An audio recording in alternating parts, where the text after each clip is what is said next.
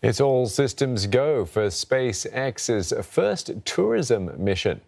In less than 12 hours, four regular people will make history launching into space for a three day joyride around Earth. None of them have been to space before. The trip is being funded by 38 year old billionaire Jared Isaacman. He picked three people to join him on SpaceX's Inspiration 4 mission. The flight itself will be fully automated, but if anything should happen, the team have been trained to take control of the craft. The spaceship will orbit higher than the International Space Station at an altitude of over 570 kilometers. But if we're going to, you know, go to the moon again and we're going to go to Mars and beyond, then we got to get a little outside of our comfort zone and take that, you know, next step in that direction.